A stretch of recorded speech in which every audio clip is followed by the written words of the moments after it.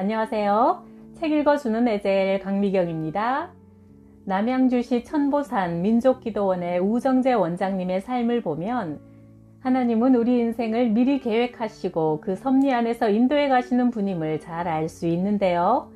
주님의 신부로 행복했어요. 소개합니다. 1994년 천보산에 민족기도원을 짓고 나서 얼마 후 우리 기도원 위쪽에 집을 짓고 살던 도사라는 사람이 하얀 두루마기를 입고 비가 와서 땅이 질척거리는데도 나를 찾아왔다. 그 도사가 나를 보더니 땅에 넙죽 엎드려 벌벌 떨면서 말했다. 여기가 부처님 모습을 닮은 바위산이라 하여 사람들이 불암산이라 부르지만 실은 하늘천의 보배보 천보산입니다. 소인이 결혼도 하지 않고 70평생 돌을 닦은 사람입니다. 이 산이 조선 팔도에서 제일 명산입니다. 영안이 열렸을 때 이 산을 보면 천사들이 아주 많이 보였습니다. 이제 큰 신을 모신 분이 왔으니 나라와 민족을 위해 큰 일을 하시길 바랍니다. 하면서 엎드렸다가 일어나는데 하얀 두루마기가 온통 진흙범벅이 되어 있었다. 내 앞에서 뒷걸음질 치며 물러나는 모습이 마치 신하가 왕 앞에서 물러나는 사극의 한 장면 같았다. 그리고는 3일 후 짐을 전부 싸가지고 그곳을 영영 떠나버렸다. 후에 그 도사가 살던 집을 강사 숙소로 만들었는데 가끔 강사들 중에서는 밤에 뭔가 하얀 것이 계속 왔다 갔다 해서 한숨도 못 잤다는 분도 있고 도무지 잠이 오지 않아 자동차에서 잤다는 분도 있었다. 하나님은 불암산 무당골짜기에 귀신 섬기던 자들을 다 쫓아내시고 거룩하고 복된 민족 기도원이 세워지도록 역사하셨다. 하나님은 미리 앞서 계획하시고 모든 것을 다 준비해 놓으시는 분이었다. 내가 아직 예수님을 믿지 않았을 때 용한 점쟁이를 만난 적이 있다. 4월 초파일을 얼마 앞두고 젊은 여자들 몇이 연등에 한지를 붙이고 있었다. 이 집에는 주로 권세 높은 사람들이 찾아오는데 그날도 국회의원 부인이 와서 번호표를 받고 기다리고 있었다. 그런데 방으로 들어가던 점쟁이가 나를 보더니 넙죽 절을 하며 이런 말을 하는 게 아닌가. 장차 큰 신을 모실 분이 뭐하러 여기까지 오셨습니까? 당신은 남자 열 몫을 해낼 것입니다.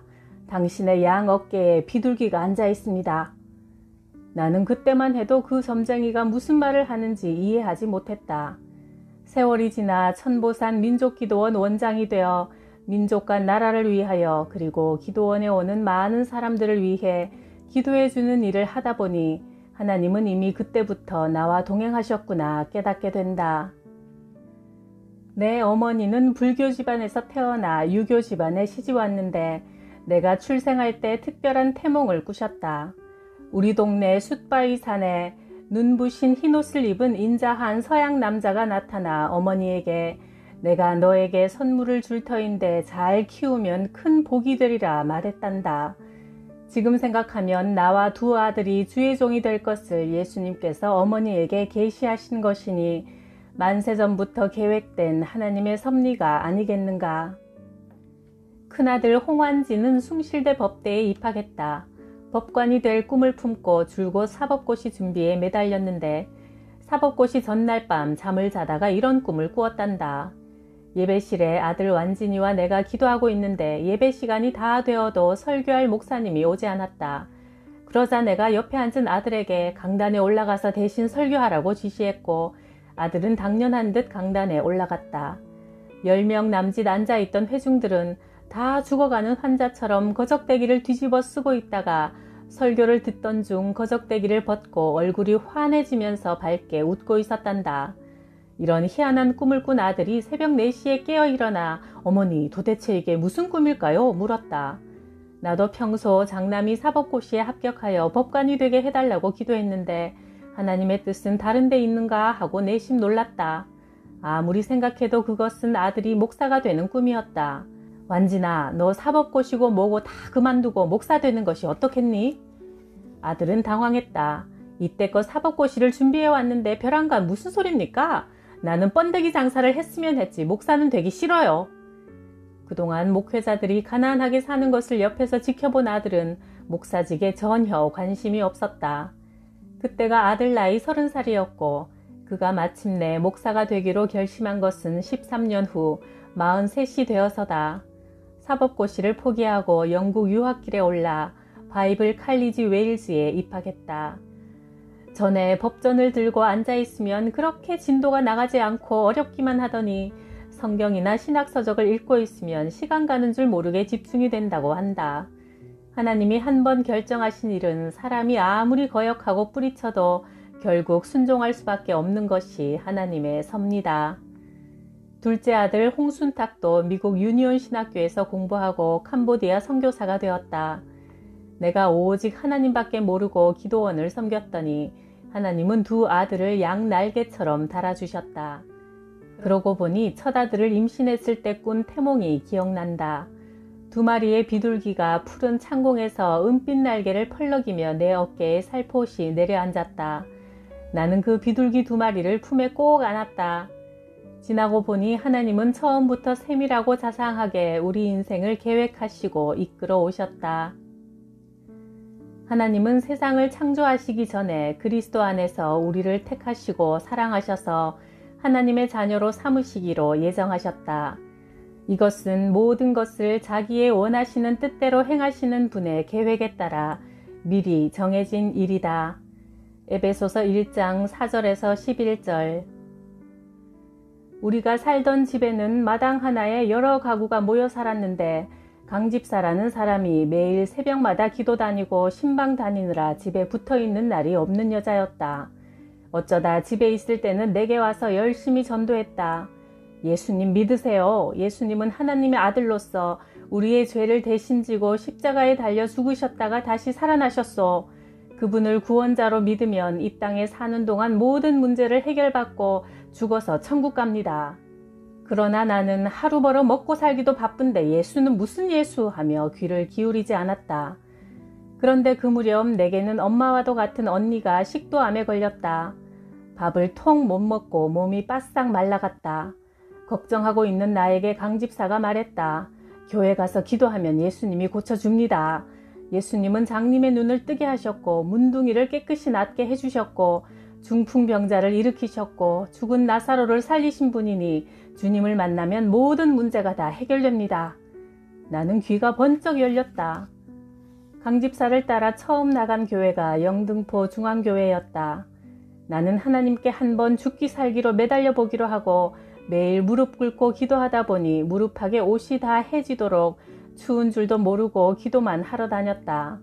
하나님, 절에 가서 부처에게 빌어도 천 번 절을 하면 부처가 한쪽 눈을 지그시 뜨고 기도하는 사람을 바라본다고 하는데 예수님도 나타나셔서 우리 언니 병을 고쳐주시면 예수님만 잘 믿으면서 살겠습니다.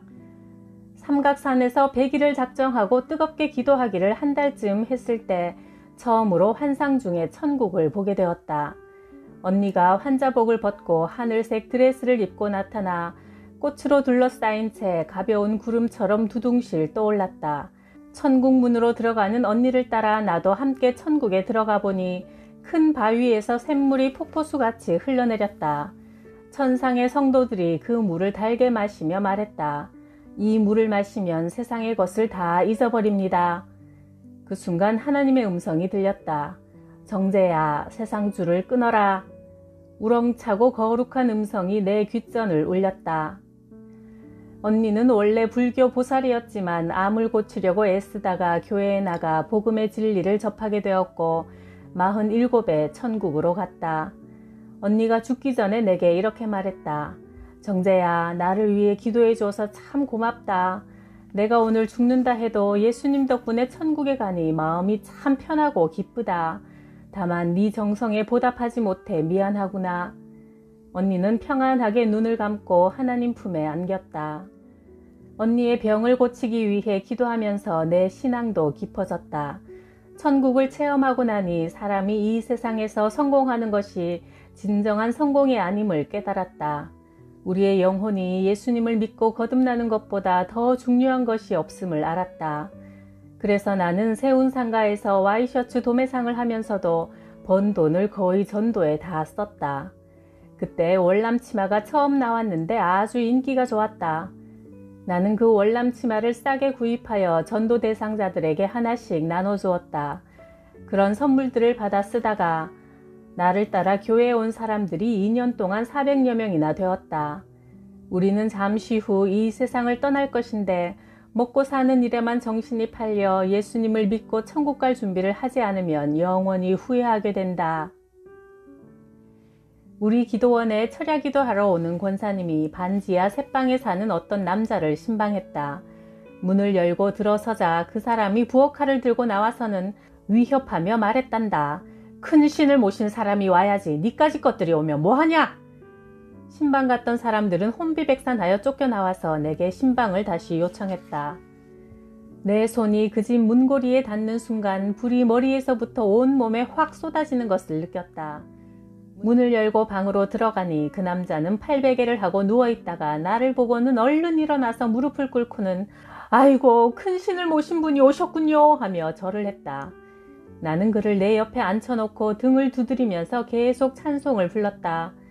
그러자 그 사람이 눈물 콧물을 한 사발을 흘리며 울었다. 환상이 보였다.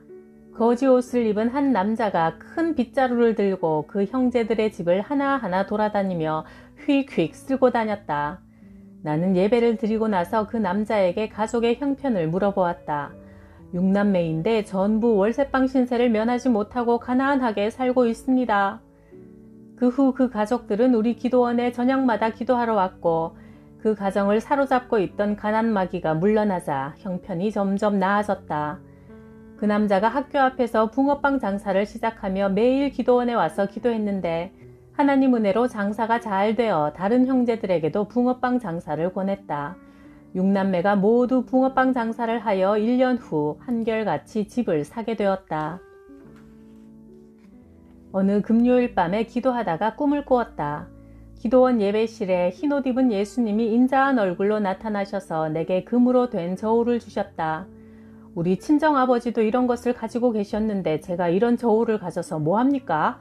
말씀드렸더니 네가 이것이 필요할 때가 있을 것이다 하시고는 순식간에 사라지셨다. 그 꿈을 꾸고 난 후로 어떤 사람의 얼굴을 보면 그가 금 같은 믿음의 소유자인지 아닌지 알 수 있었다. 사람을 알아보는 영적 분별력이 생긴 것이다. 어떤 부부가 부모님과 함께 기도원에 올라왔다. 아내인 젊은 여자는 곧 쓰러질 듯 마르고 가냘프게 생겼는데 학교 교사로 가정의 생계를 책임지고 있다고 했다. 그 남편은 황소같이 뒤룩뒤룩 살이 쪘는데 신학교를 나와 목사가 되었다고 했다. 그를 보는 순간 아내가 벌어다 주는 돈으로 먹고 살면서 목회를 한답시고 게으름이나 피우는 사람으로 보였다. 나도 모르게 분노가 치밀어 그 남자의 안경 벗으세요 했더니 영문도 모르고 안경을 벗는 순간 그의 머리통을 세게 몇 대 후려쳤다. 그러자 장모와 친모가 박수를 치며 말했다. 권사님, 우리도 한번 그렇게 때리고 싶었으나 차마 하지 못했는데 권사님이 정신 차리라고 대신 때려주시니 속이 다 후련합니다. 그 젊은 목사는 내게 두들겨 맞고서 이런 생각이 들더란다. 내가 이 땅에서도 제대로 살지 못해서 저 권사한테 이렇게 두들겨 맞는데 하나님 앞에 가서는 얼마나 두들겨 맞겠는가 하며 정신이 번쩍 들더라는 것이다. 그 후 그는 회개하고 부지런히 기도하고 목회하는 성실한 목사가 되어 우리 천보산 기도원에도 자주 올라와 기도한다.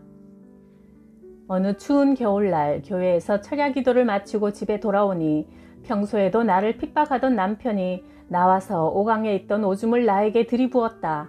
워낙 추운 날씨라 머리에 부어진 오줌이 바로 얼어붙었다. 나는 부엌 옆에 연탄 광으로 가서 종이 상자를 깔고 앉았다. 살을 애는 추위에 오줌 세례까지 받아 몸이 꽁꽁 얼어붙었다. 그런데 갑자기 빛을 발하는 작은 불기둥이 내게로 가까이 다가와 멈추었다. 내가 입은 옷에서 하얀 김이 모락모락 피어오르며 옷이 바싹 말랐다. 방금까지 지린내를 풍기던 옷이었는데 마치 깨끗하게 세탁한 것처럼 마르더니 냄새도 나지 않았다. 남편이 날 버린다 해도 주님은 나를 사랑하시고 보살피신다는 것을 뼈저리게 깨달았다. 또 하루는 남편이 누워있다가 갑자기 벌떡 일어나 내 얼굴에 베개를 냅다 집어던졌다. 평소에도 걸핏하면 예수 믿는 내가 못마땅해서 성질을 부렸는데 그날도 자기 뜻대로 안 한다고 불같이 화를 냈다. 나는 집 밖으로 나가 한참을 서성이다가 다시 집에 들어갔더니 웬일인지 남편은 고개를 돌리고 아무 소리도 하지 않고 앉아 있었다.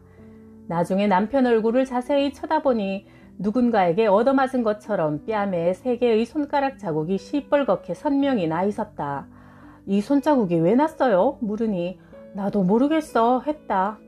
피부에 난 손가락 자국이 하루 이틀 지나면 없어질 줄 알았지만 사라지지 않고 오히려 거기에 염증이 생겨 진물이 나기 시작했다. 남편은 뺨에 손자국이 나 있으니 사람들 보기에 창피하여 빨리 고쳐보려고 병원에 한 달 넘게 다니며 치료를 받았지만 차도가 없었다. 어느 날 병원 갔다 오는 길 아는 장로님을 만났는데 그분이 남편 얼굴을 쳐다보더니 말했다. 병원 다니면서 치료해야 할 병이 아닙니다. 회개해야 낫는 병이네요. 그 말을 들은 남편은 그제야 예수 믿는 아내 얼굴에 베개를 던진 벌을 받고 있는 것이라 생각하고 어떻게 회개해야 하는지 내게 물었다. 하나님께 죄를 용서해 달라고 기도하고 속죄에 대한 찬송을 부르세요. 그리고는 평소에 내가 즐겨 부르는 찬송 하나를 가르쳐 주었다. 마음에 가득한 의심을 깨치고 지극히 화평한 마음으로 찬송을 부름은 어린 양 예수의 그 피로 속죄함 얻었네. 남편은 피부병을 고치려고 내가 일러준 대로 그 찬송을 부르기 시작했다. 1년이 넘도록 속죄함, 속죄함 하면서 주문을 외듯 웅얼거리며 노래를 불렀지만 그래도 그 멍든 손자국은 없어지지 않았다. 남편은 입으로만 노래를 불렀지 진심으로 하나님께 회개하지는 않은 것 같았다. 하나님은 우리 마음의 중심을 달아보시는 분이다.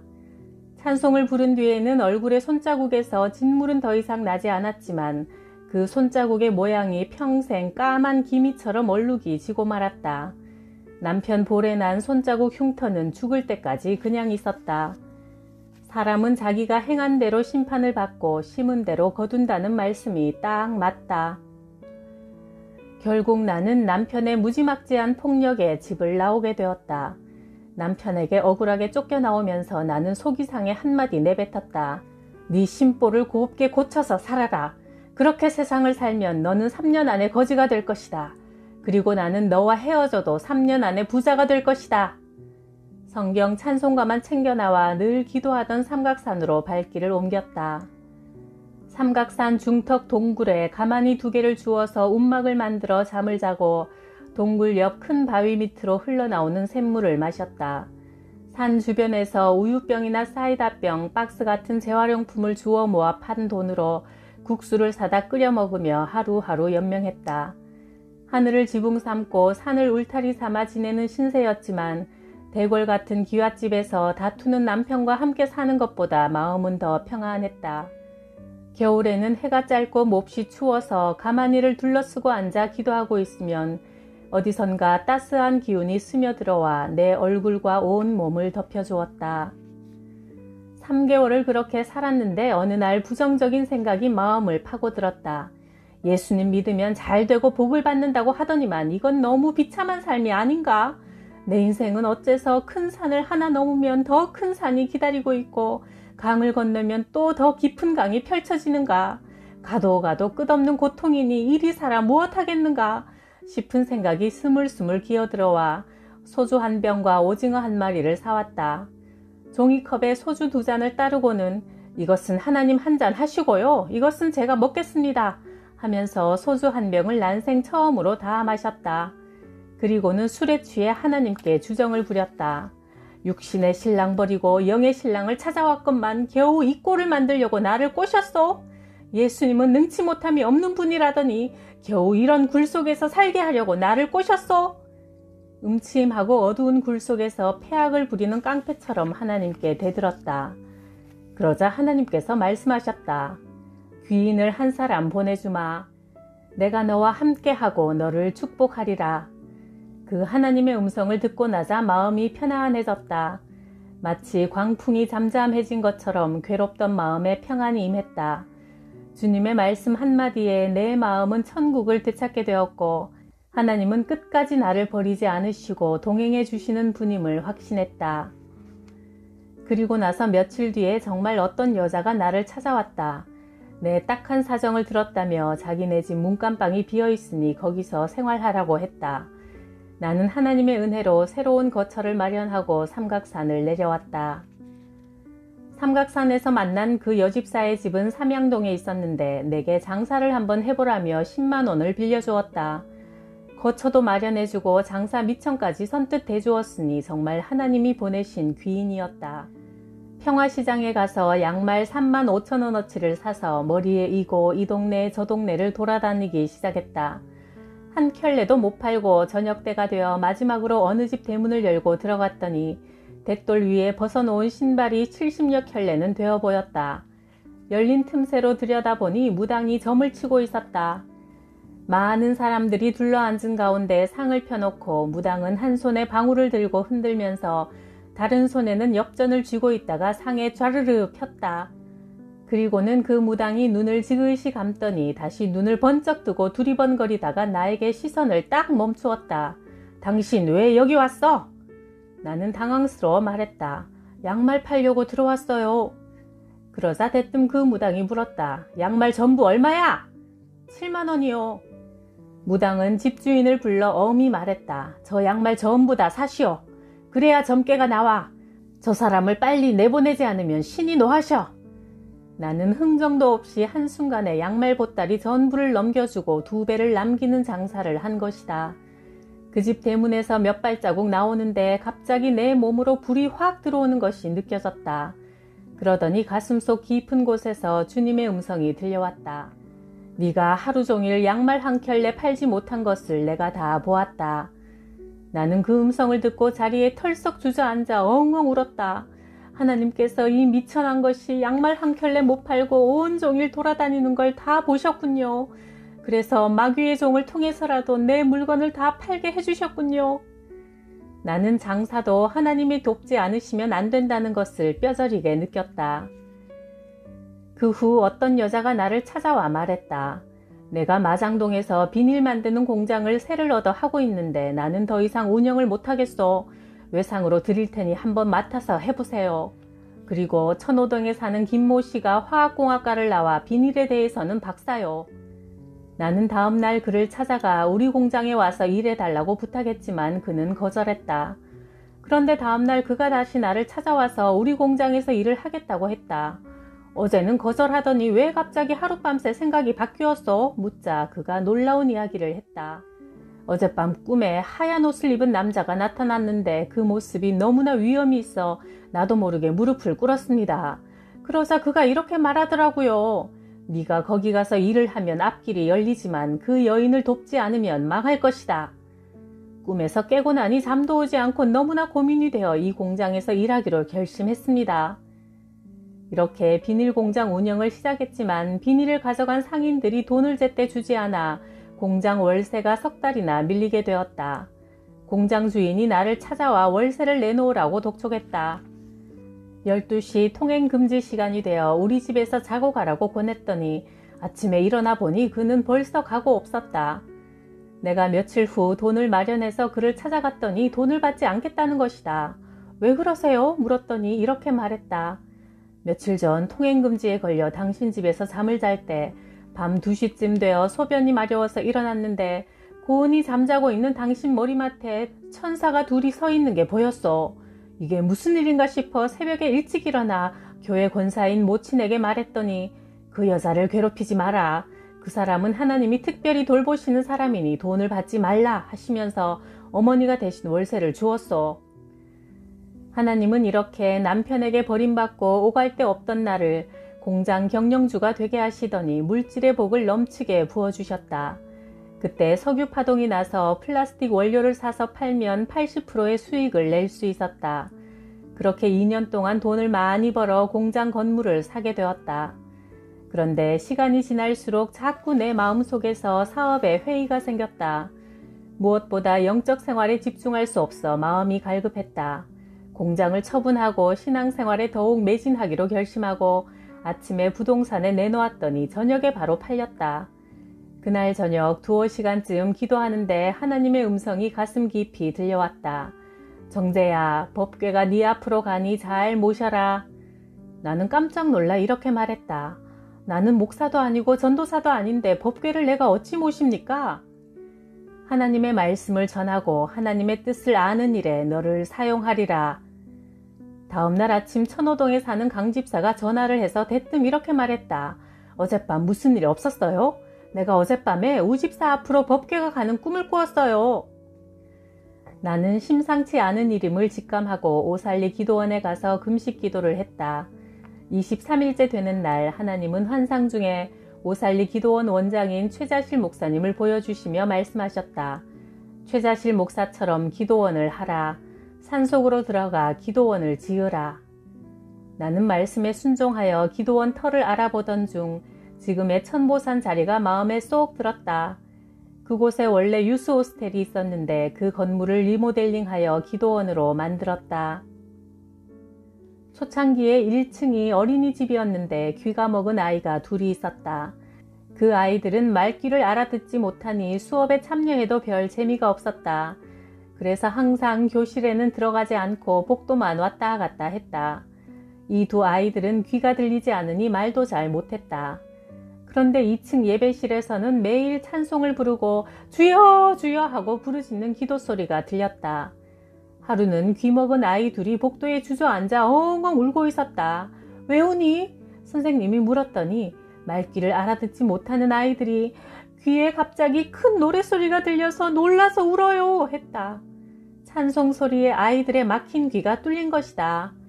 부모들이 상기된 얼굴로 찾아와서 기도원에서 고쳐주셔서 감사해요 인사하기에 하나님이 하신 것이니 하나님께 감사하고 예수님을 믿으세요 전도했다. 그 아이들이 복도에서 찬송을 듣기만 했는데도 하나님의 치유의 기적이 나타난 것이다. 어느 날 밤새도록 기도할 작정을 하고 산소 깊이 들어갔다. 주변이 칠흑처럼 깜깜하여 전혀 앞을 구분할 수 없었다. 한참 기도하는데 갑자기 소나기가 내려 급히 내려오다가 불현듯 마음속에서 서라 하는 다급한 음성이 들렸다. 무심결에 그 자리에 우뚝 멈추었다. 그리고 나서 주위를 찬찬히 둘러보니 몇 발자국 앞에 100여 미터 높이의 낭떠러지가 있었다. 이렇게 한 치 앞도 못 보는 인생인데 주님이 나를 안전하게 여기까지 인도해 주셨다. 우리는 야생마처럼 그저 앞만 보고 달려가는 어리석은 인생이 아닌가. 매일 기도하며 하나님의 음성을 듣고 인도함을 받아 살아야 한다. 스무 살에 6.25 전쟁이 터지자 서울에 살던 나는 고향 충청남도 천안시 직산으로 피난을 갔다. 교통수단이 끊겨 꼬박 3일을 걸었는데 피난길은 위험하기 짝이 없었다. 수시로 북한군 비행기가 쏵쏵 소리를 내며 머리 위로 지나갔고 우리 뒤를 따라 인민군 탱크가 밀려오고 있다고도 했다. 피난민들이 폭격기를 피해 다리 밑으로 숨었다가 그만 그 다리가 폭격당하는 바람에 다리 밑에 사람들이 한꺼번에 죽기도 했다. 그런데 나는 한 소녀가 인도하는 행렬에 끼게 되었다. 300명은 좋게 되는 수많은 사람들이 15살쯤 되어 보이는 앳된 소녀를 따라가고 있었다. 한참을 가다가 산모퉁이에서 쉬는 동안 사람들이 맨 앞에서 이끄는 소녀에게 물었다. 너는 어떻게 그 많은 총알을 피해서 갈 수 있니? 그 소녀는 이렇게 대답했다. 저는요, 길을 알아서 가는 게 아니에요. 제 앞에 노란 십자가가 보이는데 그 십자가가 인도하는 대로 따라가는 거예요. 그 소녀의 말을 들은 어느 장로님이 아가씨는 평소에 기도를 많이 한 모양이군 했다. 그렇게 소녀가 인도하는 길을 따라갔던 사람들은 안전하게 피난할 수 있었다. 나는 그때 아직 하나님을 몰랐지만 주님은 나의 목자가 되셔서 나를 선하게 인도하셨다. 고향에 무사히 도착하자 독실한 불교 신자인 언니가 말했다. 공주 계룡산 마곡사의 주지스님한테 가면 너를 보호해주고 밥을 먹여줄 거야. 언니가 가끔 찾아가서 시주하던 절이었다. 주지승은 절밥을 얻어먹으려면 시주를 해와야 한다며 다른 여자와 함께 나를 동네로 내보냈다. 어느 집에 들어가니 여주인이 말했다. 아들이 물에 빠져 죽은 지 3일이 지났는데 그를 위해 죽은 사람의 넋을 거두어드리는 넋거지를 해주면 쌀 서마를 주겠소. 함께 간 여자가 함지박에 떡과 과일을 넣고 줄에 매달아 강물에 띄운 다음 대뜸 이런 넋두리를 늘어놓았다. 넋이야 혼이야 나오너라 나오너라 예수님도 십자가에 달려 억울하게 죽었건만 너는 어찌하여 물에 빠져 죽었느냐? 넋이여 어서 이 배를 타고 나오너라. 그렇게 그 집에 넋거지를 해주고 쌀 서마를 받아오는 길에 함께 간 그 여자가 말했다. 나는 예수 믿는 사람인데 인민군들한테 붙잡히면 예수쟁이들은 총살감이니 이렇게 절에 숨어 있는 거야. 그때 나는 예수 이야기를 처음 들었다. 그 무렵 메가더 장군의 인천 상륙작전이 성공하여 인민군들은 북으로 후퇴했다. 기도원 초창기에 지금의 카페 자리가 빈 공터였다. 누가 닭을 한번 키워보라 해서 그 공터에 병아리 80마리를 사다 키웠는데 중닭으로 자랐을 때 닭들이 무슨 병이 들었는지 시름시름 앓더니 날마다 몇 마리씩 죽어 결국 40마리밖에 남지 않았다. 날개를 파닥이며 이쁘게 자라주었는데 너무 아까웠다. 어느 날 어떤 남자가 찾아와 저 병든 닭을 살리고 싶으면 수삼을 물에 끓여서 가져오라 했다. 그가 시키는 대로 했더니 그는 수산물을 주사기에 넣고 닭을 한 마리씩 붙잡아서 입에 넣어 주었다. 그런데 정말 신통하게도 수산물을 먹은 닭들이 고개를 몇 번 흔들더니 파닥파닥 날갯짓을 하면서 살아나는 것이었다. 그렇게 해서 병들어 죽어가던 40마리가 모두 다 살아났다. 그 광경이 하도 신기하고 놀라워 넋을 잃고 쳐다보고 있다가 그 남자에게 고맙다고 인사하려고 보니 그새 어디로 갔는지 찾을 수가 없었다. 그 순간 하나님의 음성이 들렸다. 병든 영혼들도 이 기도원에 와서 이렇게 기도와 찬양과 말씀의 생수를 마시면 다 살아날 것이다. 지금도 그때 나타난 사람이 천사인지 아니면 주님께서 보낸 사람인지 궁금하다. 우리 천보산 민족기도원에서는 그날 이후로 치유의 역사가 많이 일어났다.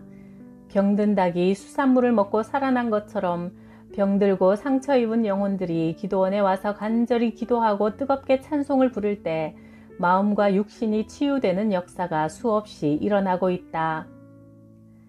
언젠가 어떤 여자가 기도하러 왔는데 몸에 기운이 하나도 없고 가난에 찌든 모습이었다. 보약이라도 한 첩 지어 주어야겠다고 생각하고 있는데 그 여자가 어느새 기도원을 내려가고 없었다. 보름쯤 지나 다시 왔는데 얼굴이 생기가 있고 밝아 보였다. 어찌된 일이에요? 보약이라도 먹었어요? 물었더니 권사님 기도 덕에 제가 보약을 스무 첩은 먹었을 거예요. 기도하고 내려간 후에 보약 다리는 건강원에 취직이 되었어요. 그곳에서 남는 보약을 많이 챙겨 먹었더니 돈도 벌고 건강도 좋아졌어요. 하면서 기뻐했다. 하나님은 기도하는 자에게 꼭 필요한 것을 챙겨주신다. 하나님이 우리를 구원하시기로 만세전에 예정하신 것에 감사하고 기도하고 전도하라는 말씀에 순종할 때 큰 복을 주실 줄 믿습니다. 구독, 좋아요, 댓글에 큰 사랑과 큰 복에 감사해요.